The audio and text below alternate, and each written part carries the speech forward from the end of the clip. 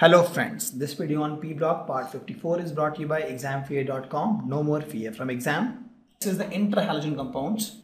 In fact, we have discussed this when we talked about the reaction of halogen with other halogen.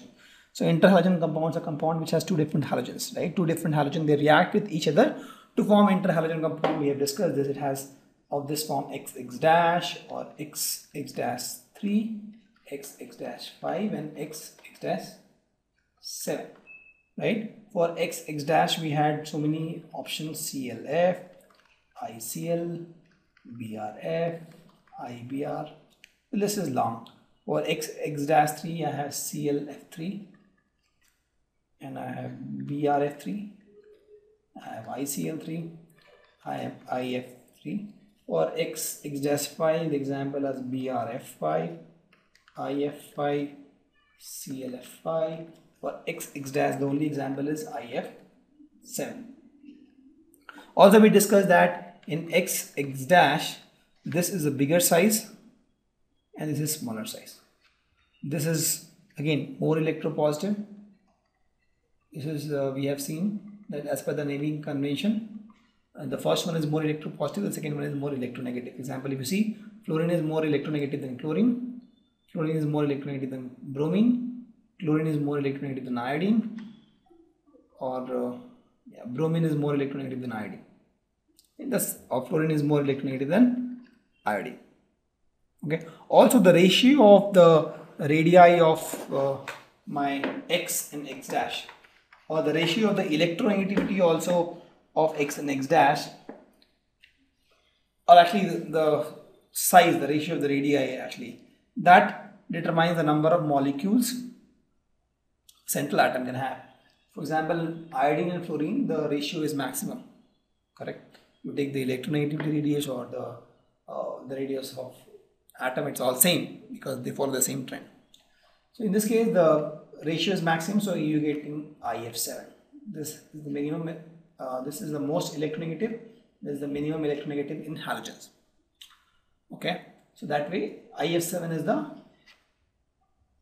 only compound okay. For other examples if you want you can see uh, bromine and uh, iodine IBR3 so if you see BRF5 we have BRF, BRF3, BRF5 but we don't have BRF7 okay. So if you see ICL we have ICL, we have ICL3, we don't have ICL5 so it all depends on the ratio of electronegativity of uh, these two compounds which I am talking about.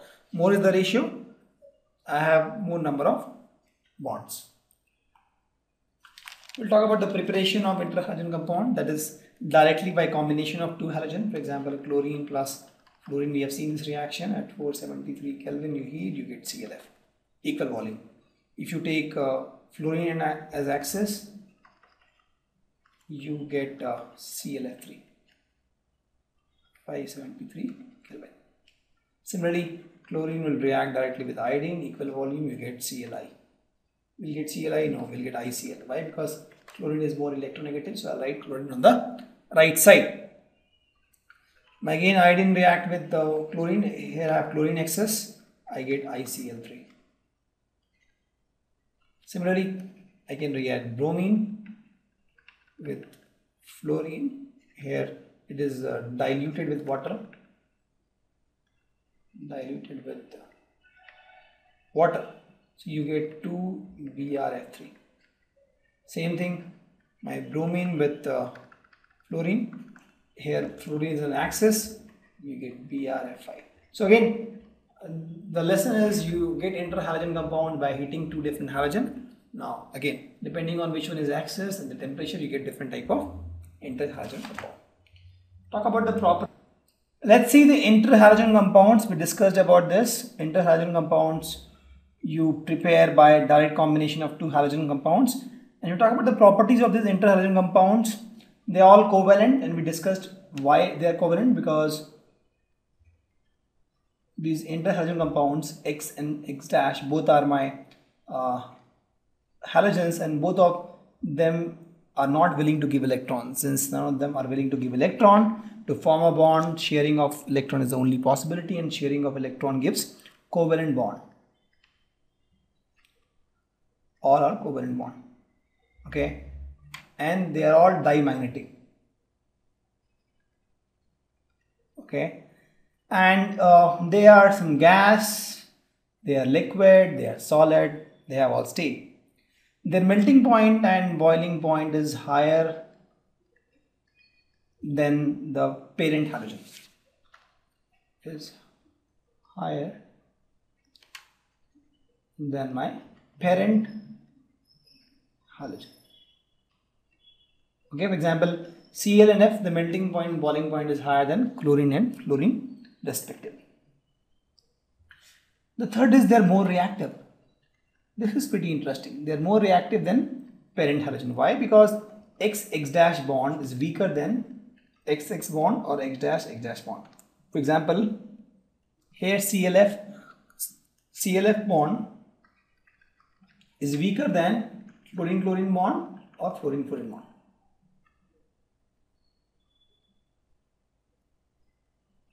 Okay? Or let's suppose I take IBR so here IBR bond is weaker than IA bond or BR-BR bond. Right? So if you see the properties, this CLF is colored as gas, BRF is pale brown grass. Similarly, if you talk CLF3, this is colored as gas. BRF3 is a yellow green liquid. IF3 is yellow powder. ICL3 is orange solid. IF5 is colored as gas. So they have different combinations. You talk about the structure, these x x3 is bent T shape x x5 they are all square pyramidal. And this uh, x, x this shaman is pentagonal bipyramidal. We have discussed this actually. Okay. And if we talk about this uh, hydrolysis let's talk about the hydrolysis. All these undergo hydrolysis. All these halogens they undergo hydrolysis and they give halide ions. They give halide ions. Okay. From the smaller halogen. So this example in this x x dash.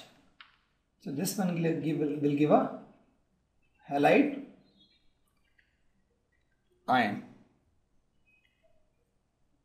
Sorry this one is smaller, right? X is, yeah.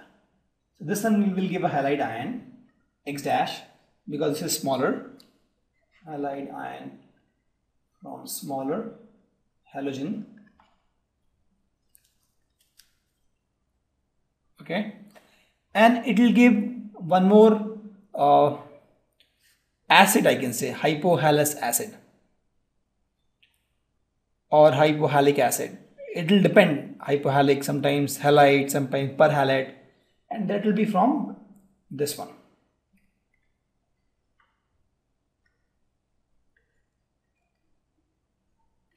The bigger one. For example i'll take you an example. Example x x dash. When you react with water this one x minus is a smaller one here. It will give what? It will give halide ion. Okay? That is HX dash. And you'll get HOX this is my hypohalous acid. Okay? Similarly if it is X X dash 3 with water you'll again get HX dash. That is for sure. But here you'll get H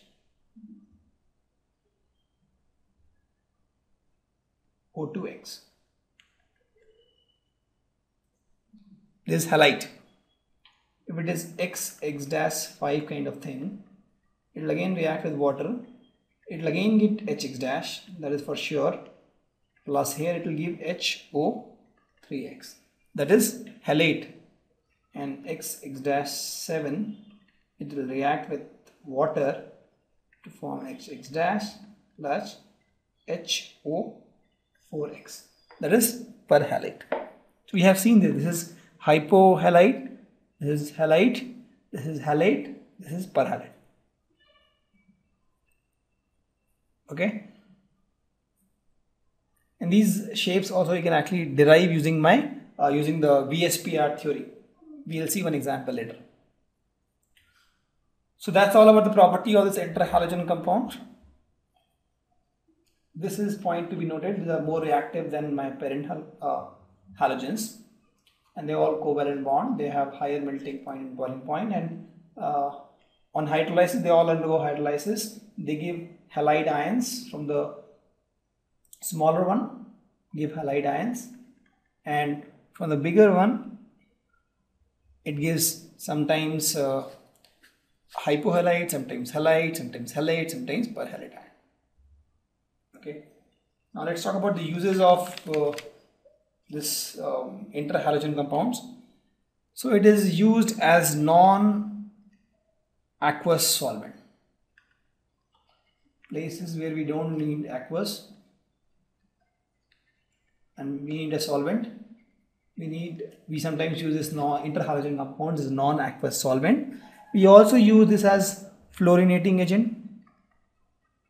Fluorinating agent. This is used as fluorinating agent and uh, actually the ClF6 and BRF3 they are used for production of UX, UF6 in the enrichment of this uranium for example U can react with ClF6 you can you get UF6 and 3Cl5 this uranium 235 actually so it is used for the enrichment of the nuclear fuel you can say okay Thank you. Visit examfear.com to watch more videos, attempt free online tests, get free study materials, find tutors and mentors, and much more. Thanks once again.